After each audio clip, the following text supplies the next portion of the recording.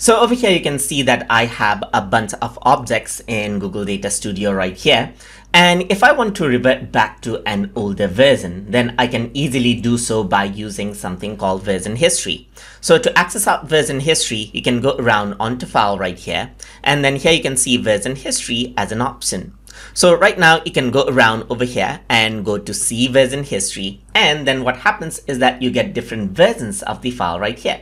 Let's say, for example, if I were to click this, then you can see that this is what you have. You get to an older version right here. You can go around and click over here, then you get an older version right here. So depending on the date, you can see that you can go around onto a certain version of the file right here. So what you can do is you can click on restore the particular version right here and then the particular version will be restored. And another thing that you can do is you can go around over here, click on the three dot button over here as well and delete out a particular version if you don't want.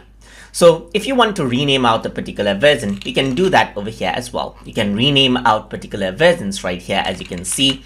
And then another thing that you can do is you can go around and then turn on this filter right here so that you can just see the renamed out um, um, um, uh, renamed out versions just like this.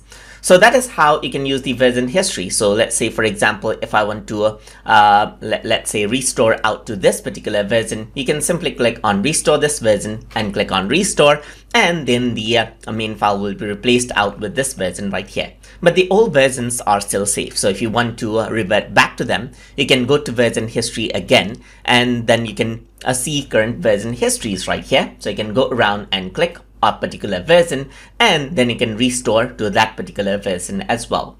If you uh, want to save a particular version of the file right here, you can go to file as well and then go to version history and name the current version. So you can go around and rename it to however you want just like this.